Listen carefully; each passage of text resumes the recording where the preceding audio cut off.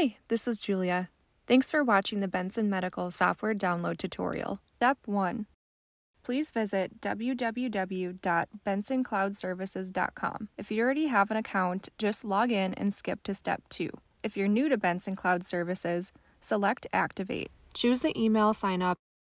Enter your email, click Send Verification Code, and verify through the email from Microsoft on behalf of Benson Cloud Services. This email will come from MS Online Service Team at MicrosoftOnline.com. Set a password that meets specific criteria that includes a lowercase letter, uppercase letter, a digit, and a symbol. Once you have filled out the required fields and select Create, this will take you to Manage Profile screen. Step 2.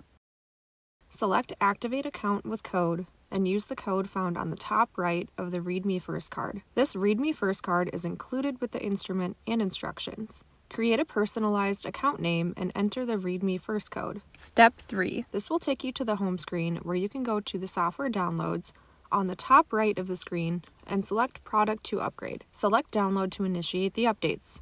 Open the Downloads folder, select the product file that you just downloaded, extract all, and select a destination for the files. It is important to right click on setup.exe and run as administrator to run the installation process.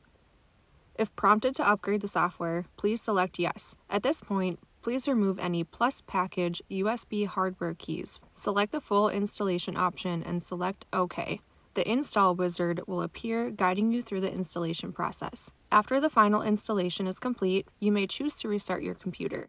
Thank you for joining me, and if you have any questions, please find our contact information listed on the screen or in the description below.